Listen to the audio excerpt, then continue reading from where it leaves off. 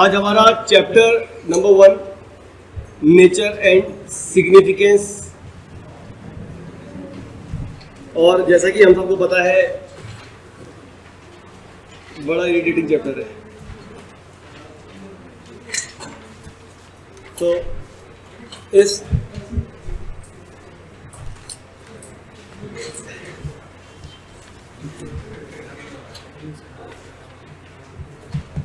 इस irritating chapter को थोड़ा समझ रहे हैं, किस तरह समझे कि थोड़ा आसान भी लगे। हाँ जी। जैसा कि आप लोगों के पास ये हाँ ये निकालना है बेटा, घर के लिए नहीं है, यहीं पर ही करना है इसमें काम होगा। सबसे पहले हम चैप्टर है हमारा nature and significance of management तो मैनेजमेंट क्या कहता है? हाँ भाई, हम सभी ने पढ़ा कि मैनेजमेंट का मतलब मेन क्या है? I think function of management जो कितने हैं? फाइव हमारे फ़ंक्शंस ऑफ़ मैनेजमेंट जो कि कुछ इस तरह से है planning organising staffing directing and controlling क्या ये एक तरह की प्रोसेस है। हाँ। कैसी प्रोसेस जो कि कॉन्टिन्यूसली और जैसा कि हम लोगों ने कंट्रोलिंग वाले चैप्टर में पढ़ा था। कंट्रोलिंग क्या करती है? फिर इस प्रोसेस को रिवर्स करती है, किसको देती है? प्लानिंग और फिर कॉन्टिन्यूसली ये प्रोसेस चलती रहती है। तो हम इसे बोल के रहे मैनेजमेंट एक प्रोसेस है, जिसके अंदर पाँच फ़ंक्शन होते हैं। मैनेजमेंट एक प्रोसेस है, जिसके अंदर पाँच फ़ंक्शन होते हैं। Planning organising staffing directing and controlling हाँ जी तो ये जो प्रोसेस है, हम करते क्यों हैं? ये प्रोसेस हम इसलिए करते हैं जिससे कि, पहले तो आप में से कोई बताओ, ये प्रोसेस हम करते क्यों हैं? आपने टर्म्स में जो भी तुम्हें आता है बदतमीजी नहीं चलो बात देख ही बोल रहे हाँ। भाई, हम क्यों करते हैं ये? तो नॉर्मली बच्चे बोलते हैं, सर ऑब्जेक्टिव अचीव करने के लिए। सही बात है। हाँ भाई, हम ये प्रोसेस क्यों फॉलो कर रहे हैं जिससे कि हम अपने ऑब्जेक्टिव को अचीव कर सके? लेकिन जब हम टेक्निकल आंसर बोलते हैं तो हम कहते हैं कि हम मैनेजमेंट की प्रोसेस को इसलिए फॉलो करते हैं जिससे कि हमें उसका जो आउटकम है वो दो तरह से मिले। आउटकम कैसा होना चाहिए? दो तरह से आउटकम हम देखते हैं। पहला पहला हाँ भाई, सब लोगों के पास है सब दिया हुआ है, लिखना किसी को भी नहीं है, मैं कुछ बोलूँगा ऐड ज़रूर करना है इसके अंदर, ठीक है? तो सबसे पहले हम आते हैं इसके अंदर। कि आपका काम ऐसा होना चाहिए, अगर प्रोसेस प्रॉपर फॉलो करते हो तो कैसा होगा? इफ़ेक्टिव कैसा होगा? आपका काम इफेक्टिवनेस आपके काम में आएगी। पहली चीज़ क्या बोल रहे हैं? अगर प्रोसेस फॉलो करते हो तो फ़ायदा क्या मिलेगा? इफेक्टिवनेस आएगी। और दूसरा, आपकी एफिशिएंसी यानी काम करने की आपकी जो एफिशिएंसी है वो इंक्रीज होगी। अब ध्यान दे रहा है, जब मैं एफिशिएंसी बोलता हूँ तो इंग्लिश में एफिशिएंसी का मतलब क्या होता है? ज़्यादा अच्छा काम करना एफिशिएंसी बोलते हैं। यहाँ पर हम इसको ऐसा ना बोल के कुछ और बोलने वाले हैं। क्या है ये? तो देखते हैं। सबसे पहले, अगर मैं इस प्लानिंग की सारी प्लानिंग नहीं, क्या मैनेजमेंट की पूरी प्रोसेस फॉलो करता हूँ? पहला फ़ायदा ऑन टाइम टाइम पर मेरा काम खत्म होगा। पहला फ़ायदा टाइम पर मेरा काम खत्म होगा, काम डिले नहीं होगा। अच्छी बात है। दूसरा फ़ायदा, कि जो बजट मुझे अलॉटेड है, याद करो प्लानिंग चैप्टर में हमने पढ़ा था पॉलिसी के चार पॉइंट। कौन कौन से? पहला procedure method rule and budget याद है, हमने पढ़ा था budget is a controlling device और हमने पढ़ा था कि न्यूमेरिक होनी चाहिए और स्पेसिफिक होनी चाहिए। और क्यों थी कंट्रोलिंग डिवाइस कि हमने बोला, हज़ार रुपए खर्च करने तो हज़ार रुपए के अंदर ही खर्च करना है, इसके ऊपर आपको खर्च नहीं करना। तो हम ये पूरा मैनेजमेंट इसलिए कर रहे हैं जिससे हम दो चीज़ों को बेस्ट कर सके। पहले तो अपने काम को टाइम पर खत्म कर सके और दूसरा, जो प्रिस्क्राइब्ड बजट है, उसी बजट में काम पूरा हो सके। हमें एक्स्ट्रा पैसा खर्च करने की ज़रूरत ना पड़े। हाँ जी, क्या ये दोनों कंपनी के ऑब्जेक्टिव है? हाँ जी। यानी हमारा मेन ऑब्जेक्टिव वैसे तो क्या है? प्रॉफिट लेकिन प्रॉफिट चाहिए ऑब्जेक्टिव पूरे करने हैं। लेकिन कैसे? क्या प्रॉफिट की तरफ़ दौड़ना है? प्रॉफिट की तरफ़ नहीं दौड़ना क्वालिटी की तरफ़ दौड़ना है। क्वालिटी मैं सभी से एक बात कहता हूँ फिर से कि जो भी मैं कर रहा हूँ, इस पूरे साल में बदतमीजियाँ जो भी मैं करने की कोशिश कर रहा हूँ, मेरे दो ही टास्क हैं। पहला तो नहीं, दो नहीं, इनमें से एक तो नहीं है। पहला मेरा क्या है कि मैं टाइम पर यानी ऑन टाइम हम टाइम पर रिवीजन के साथ रेडी हूँ। बजट को लेके मैं थोड़ा इतना वो नहीं हूँ क्योंकि थोड़ा मैं स्टॉक मार्केट से रिलेटेड हूँ तो मैं, क्या ना मैं रिस्क ज़्यादा लेता हूँ। तो बजट तो मेरे सामने खुला हुआ है, लेकिन ऑन टाइम की बात करूँ तो मैं ये पूरी कोशिश रहेगी कि जो मैं कमिटमेंट कर रहा हूँ, हर एक कमिटमेंट पूरा करूँ। ध्यान देना, मैंने क्या बोला? मैनेजमेंट ज़रूरी क्यों है? पहला पॉइंट आपकी इफेक्टिवनेस लाने के लिए। व्हाट इज़ इफेक्टिवनेस कि आपने जो भी कमिटमेंट टाइम पर किए, जो आपने कमिटमेंट किया हुआ है कि मैं इस टाइम पर ये काम करके दूँगा, वो आप काम पूरा कर पा रहे हो। और दूसरी चीज़ प्रिस्क्राइब बजट में। एक बड़ी इंटरेस्टिंग बात। अगर मैं खुद ही मालिक हूँ, खुद ही वर्कर हूँ तो फिर तो बजट में खुला यूज़ कर सकता हूँ। लेकिन जब ये ऑर्गेनाइजेशन बहुत बड़ी हो जाएगी हाँ भाई, ये फंक्शनल से कहाँ पहुँच जाएगी डिविजनल तो क्या प्रैक्टिकल है ये? कौन सा कि हम बजट स्पेसिफिक ना रखें। नहीं भाई, वहाँ तो हमें बजट स्पेसिफिक रखना पड़ेगा। नहीं तो क्या होगा? ब्रांचेस ज़्यादा सर्च करेंगे अननेसेसरीली तो हमारा लॉसेस बढ़ जाएगा। तो हम बोल क्या रहे इफेक्टिवनेस और efficiency what is effectiveness time पर काम खत्म होना। व्हाट इज़ एफिशिएंसी बजट के अंदर होना। इसका मतलब मिनिमम एफर्ट्स के साथ मैक्सिमम आउटपुट यानी मिनिमम इनपुट के साथ मैक्सिमम आउटपुट यानी हमें क्या करना है, अपना बजट भी ध्यान में रखना है कि हमारे मिनिमम कॉस्ट पे मैक्सिमम आउटपुट होना चाहिए। अब मुझे एक बात बताओ। मेरे लिए क्या ये मुश्किल है कि मैं ऑन टाइम काम कर पाऊँ, मगर मैं आप लोगों से कह रहा हूँ कि विद रिवीजन विद तीन, चार रिवीजन तीन एटलीस्ट तीन रिवीजन के साथ हम इकतीस जनवरी तक तैयार रहेंगे। अगर मैं आपसे कह रहा हूँ विद थ्री रिवीजन हम तैयार रहेंगे, और मालूम चला कि हम थोड़ा डिले हो रहे हैं। ध्यान देना डिले हो रहे हैं तो मैंने क्या किया काम कर रहे फास्ट चलते हैं। हाँ भाई फास्ट चलते हैं। ये बताओ, अगर फास्ट चलेंगे तो क्या क्वालिटी सफ़र करेगी? हाँ। यानी कि अगर मैं टाइम पर काम खत्म करना चाहता हूँ तो हो सकता है कि मैं हड़बड़ी में दिखाऊँ और हड़बड़ी के चक्कर में क्वालिटी सफ़र हो जाए। यानी टाइम पर काम तो खत्म हो जाए, लेकिन वो क्वालिटी डेवलप ना हो जाए, ना हो पाए। अब यहाँ पर ध्यान देना अब जो मैं बात कर रहा हूँ ना, सर, ये आप ना जनरल बातें कर रहे हो, सर। यही लोग बच्चे गलती कर देते हैं जनरल आंसर लिखते हैं तो जनरल पॉइंट मिल जाते हैं, फिर उसी नंबर मिलते हैं। मैं यहीं से लिंक करना चाहता हूँ। मतलब मेरे पास क्या है कि टाइम पर मुझे काम खत्म करना है। भाई विद प्रिस्क्राइब्ड बजट लेकिन ये टाइम पर काम मैं खत्म ना करके अगर मैं लेट काम खत्म करूँगा तो क्या होगा? मेरी कमिटमेंट की वैल्यू खराब होगी। अगर मैंने टाइम पर काम खत्म करने के चक्कर में जल्दी जल्दी बनाना शुरू कर दिया तो मेरी क्वालिटी सफ़र करेगी। तो मेरी बात ध्यान सुनना।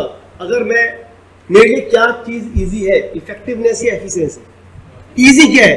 इट सुनो it is easy to effective it is easy to effective लेकिन आप जल्द अपनी इफेक्टिवनेस दिखाने के चक्कर में क्या कर दोगे? क्वालिटी से हाथ धो दोगे। तो मैं क्या बोलना चाह रहा हूँ? It is easy to effective क्या चीज़? टाइम पर काम खत्म करना आसान है, लेकिन कब? अगर आप क्वालिटी को भूल जाओ।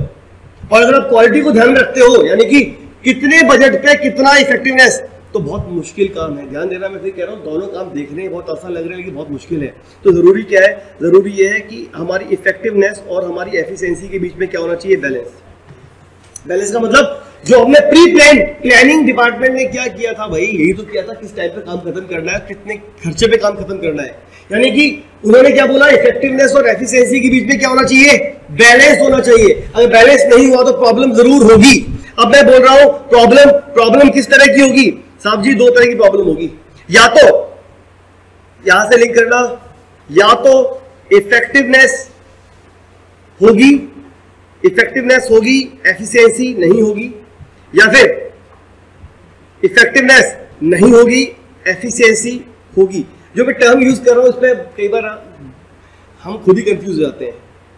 यहाँ पर दो टर्म यूज़ किए गए मैंने बोला दो कंडीशन होंगी, या तो बैलेंस होगी। बीच वाली कंडीशन क्या होगी? बैलेंस या तो सब कुछ बैलेंस्ड होगा, अच्छी बात है, और बोल रहे हैं, हमको सीधा सीधा it need to be balance की बैलेंस ही रखो, दोनों के बीच में, कि टाइम पर भी काम खत्म हो और कॉस्ट भी ज़्यादा ना लगे। दूसरे रूप में कह रहा हूँ कि बैलेंस नहीं रही तो डिसबैलेंस उस डिसबैलेंस में क्या होगा? इफेक्टिवनेस यानी टाइम पर तो काम खत्म हुआ, लेकिन खर्चे बढ़ गए। खर्चे बढ़ गए। खर्चे बढ़ गए मतलब कि आपका ऑब्जेक्टिव क्या हो गया? डिस्टर्ब दूसरी तरफ़ जाओ टाइम पर काम खत्म नहीं हो पाया। बजट लेकिन पूरा आपने मेंटेन किया। दूसरी तरफ़ क्या बोल रहा है? टाइम पर। इसको फिर क्या लिख देता हूँ। हाँ भाई, पहला क्या है? टाइम पर काम तो खत्म हो गया, लेकिन कॉस्ट क्या हो गई? बढ़ गई। है ना? टाइम पर काम खत्म करने के चक्कर में कॉस्ट बढ़ा दी। कैसे? हाँ भाई, दो वर्कर्स थे। टारगेट टाइम पर नहीं हो पा रहे थे। हमने क्या किया? उनसे बोला वो टाइम करो एक्स्ट्रा सैलरी ले लेना। तो एक्स्ट्रा सैलरी का मतलब कॉस्ट क्या हो गई? बढ़ गई। क्या ये अच्छा मैनेजमेंट है? नहीं। दूसरी तरफ़ आ जाओ। टाइम पर काम खत्म नहीं हो पाया। लेकिन अभी क्या हुआ? कॉस्ट बराबर ही रही। कोई फ़ायदा इस बात का? नहीं। कॉस्ट वही की वही रही, लेकिन टाइम पर काम खत्म नहीं हो पाया। जब टाइम पर काम खत्म ही नहीं हो पाया, इसका मतलब आपकी कमिटमेंट क्या हो गई? खराब। आपकी कमिटमेंट खराब हो गई तो आपकी मार्केट में गुडविल क्या हो जाएगी? खराब। तो हम मैनेजमेंट क्यों पढ़ते हैं। मैनेजमेंट क्या है? एक पहली बात तो एक प्रोसेस है। जो क्या सिखाती है, पाँच चीज़ें बताती है, क्या function of management planning organizing staffing directing and controlling अगर हम इस पूरी प्रोसेस को फॉलो करते हैं तो इसका फ़ायदा क्या होगा? टेक्निकल भी टेक्निकल क्या होगा? इफेक्टिवनेस बढ़ेगी और एफिशिएंसी आएगी। इफेक्टिवनेस बढ़ेगी एफिशिएंसी आएगी। What is effectiveness on time time पर काम खत्म होगा। और व्हाट इज़ एफिशिएंसी कम बजट में, यानी कह लो अपने जो कॉस्ट बजट रखा हुआ है प्लानिंग के हिसाब से खर्चा होगा। हम कह रहे हैं दोनों का नीड टू बी बैलेंस्ड लेकिन अगर ये बैलेंस नहीं होंगे तो प्रॉब्लम क्रिएट होगी, जो क्या बताएगा कि मैनेजमेंट आप अच्छी तरह से नहीं कर रहे हो। उसका मतलब प्रोसेस में कहीं ना कोई कमी ज़रूर है। अगर प्रोसेस में कमी होगी तो क्या होगा? या तो इफेक्टिवनेस या एफिशिएंसी किसी ना किसी में कोई ना कोई कमी ज़रूर होगी। क्लियर तो पहली बात तो ये ये जो चैप्टर है हमारा जो हमारी बदतमीजी वाली आदत है कि हम हमेशा चैप्टर की बात करते हैं कितने पार्ट्स में। तो इस चैप्टर को पहले हमें फोर पार्ट से बांटना है। कितने पार्ट्स फोर पार्ट्स जिसमें सबसे पहला पॉइंट क्या है मेरा? कॉन्सेप्ट सबसे पहला पॉइंट क्या है? कॉन्सेप्ट जो अभी भी हमने पढ़ा। इसको बोलते क्या है? मैनेजमेंट के क्या कॉन्सेप्ट यानी मैनेजमेंट वाई मैनेजमेंट तो मैंने क्या बताया? मैनेजमेंट इसलिए क्योंकि मैनेजमेंट क्या है? एक तरह की प्रोसेस हाँ भाई प्रोसेस क्यों है? क्योंकि इसके अंदर पाँच चीज़ें होती हैं। क्या? Planning organizing staffing directing and controlling इसका फ़ायदा क्या होता है? दो फ़ायदे होते हैं इफेक्टिवनेस और एफिशिएंसी होती है, जिसकी वजह से क्या होता है, आपका ऑब्जेक्टिव पूरा होता है कि होना कैसा चाहिए बैलेंस होना चाहिए, लेकिन अगर बैलेंस नहीं है डिसबैलेंस है तो हमारा इसका मतलब हमारा मैनेजमेंट अच्छा नहीं चल रहा है। पहला पॉइंट क्लियर है तो क्लियर है तो बेटा आ जाओ फटाफट इधर। आ जाओ भैया इधर। तो देखो भाई मैनेजमेंट एज अ प्रोसेस यहाँ पर लिख लो बेटा, ऊपर पहले यहाँ पर कॉन्सेप्ट इसको लिख लो। कॉन्सेप्ट हम क्या बात कर रहे हैं? मैनेजमेंट की कॉन्सेप्ट की बात कर रहे हैं। कॉन्सेप्ट ऑफ़ मैनेजमेंट लिख लो कॉन्सेप्ट ऑफ़ मैनेजमेंट जब भी कॉन्सेप्ट की बात होगी तो किसकी बात होगी? पहले प्रोसेस प्रोसेस फॉलो होना चाहिए। हाँ भाई प्लानिंग फिर organizing staffing directing and controlling हाँ इसका फ़ायदा क्या है? इफेक्टिवनेस और एफिशिएंसी को लेकर. What is effectiveness right task in prescribe time मतलब क्या ऑन टाइम काम खत्म होना चाहिए। दूसरी तरफ़ आ जाओ what is efficiency correctly task सही काम करना है मिनिमम कॉस्ट कम से कम खर्चे में आपको सही काम पूरा करके देना है, जैसा भी आपको बोला गया। था हाँ भाई बोथ आर इंटर रिलेटेड हाँ जी। बोथ आर इंटर रिलेटेड अभी रिसेंटली अभी पहले ना आप लोग, पहले पीछे चल रहे थे, दूसरा बैच आगे चल रहा था। लेकिन बीच में एक दिन क्या हुआ, एक दिन के पंद्रह मिनट के टाइम डिफरेंस के चक्कर में सब उल्टा हो गया। आप लोग आगे हो गए, वो पीछे हो गए।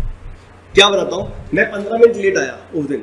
ठीक है? ड्यू टू सम रीजन मेरे पंद्रह मिनट लेट आने की वजह से मेरा माइंड पूरा डिस्टर्ब हो गया, जिसकी वजह से मैं उस चैप्टर को उस क्वालिटी के साथ नहीं दे पाया जो देना था। जब वो चैप्टर मैंने आपको कराया था तो मेरे माइंड में था, नहीं यार क्वालिटी कल निकालूँगा। लेकिन हुआ क्या? अगले दिन पंद्रह मिनट लेट होने की वजह से मैं क्या बोलना चाह रहा हूँ? जब आपका कमिटमेंट खराब होता है तो ऐसे में क्या होता है? एफिशिएंसी भी आपकी खराब हो जाती है। यानी क्या होता है, मैं कह रहा हूँ, दोनों चीज़ों को मैं लिंक कर रहा हूँ यहाँ पर. इफेक्टिवनेस और एफिशिएंसी दोनों को मेंटेन करने के लिए बहुत ज़रूरी है कि हम क्या करें प्रॉपर मैनेजमेंट करें. हाँ जी? तो need to be balanced balance होने चाहिए. It is easier to effective time पर काम खत्म करना बहुत आसान है. क्वालिटी छोड़ दो ना. याद है, हम कई बार डिस्कस भी करते हैं. तुम्हें क्या पता है क्वालिटी क्या होती है? तुम्हें तो पढ़ने आए हो खाली तुम लोग. हाँ भाई? क्वालिटी पता करनी है तो पाँच साल ये एक ही चैप्टर को पढ़ो। यानी पूरी बिज़नेस दोबारा पढ़ो पाँच छह बार पढ़ो तो मन अच्छा नहीं, मज़ा नहीं आया था सर, अब मज़ा आ रहा है। है ना? तो इतनी, इतना टाइम का है? हमें तो वोट देना है भाई। तो क्वालिटी याद करो, हमने कहा था क्वालिटी को मेजर करना मुश्किल टास्क है कंट्रोलिंग में पड़ा था ना। क्वांटिटेटिव मेजर आसान है क्वालिटेटिव मेजर थोड़े मुश्किल है। तो हम क्या बोल रहे हैं इजियर टू इफ़ेक्टिव टाइम पर काम खत्म करना आसान है, लेकिन कब? अगर आप एफिशिएंसी को क्या कर दोगे? इग्नोर क्या मतलब? एफिशिएंसी का मतलब अब यहाँ पर क्या हो गया? क्वालिटी कंट्रोल बाहर में जाए। क्वालिटी कोई दिक्कत नहीं, आप अपने टास्क की तरफ़ ध्यान दो। ठीक है? तो इफ़ेक्टिव होना आसान है। इफ़ेक्टिव होना क्या it is easier to effective time कम में खत्म करना कर देंगे कोई प्रॉब्लम नहीं है। ऐसी एफिशिएंसी दिखाना बहुत आसान काम है कि नहीं बजट में ही खर्च करना, इसके ऊपर बजट से ऊपर खर्च नहीं करना। आप बजट के ऊपर खर्च नहीं करोगे, और मालूम चला रोड बननी है रोड के लिए पैसा नहीं है, इसका मतलब वो भी काम क्या हो गया? डिले तो हम क्या बोल रहे हैं? इट इज़ इजियर किसी भी एक पे ध्यान देना। इट इज़ टफ दोनों को क्या करना? बैलेंस करना। तो देखो manager was effective but not so efficient अब इफ़ेक्टिव तो है, लेकिन एफिशिएंट नहीं है। यानी कि अचीव कर तो रहे objective on time but with high budget high budget की बात कर रहे हैं। गलत है। दूसरी तरफ़ आ जाओ। मैनेजर्स वॉज़ एफिशिएंट एफिशिएंट तो है, लेकिन इफ़ेक्टिव नहीं है। It mean objective not achieve on time time पर काम खत्म नहीं हो रहा बट प्रिस्क्राइब्ड बजट के अंदर ही हो रहा है। अब क्लियर रही ये? हमारा इस चैप्टर के जो हमने चार पार्ट्स बांटे हैं, उसका पहला पॉइंट है जिसको हम क्या बोल रहे हैं? कॉन्सेप्ट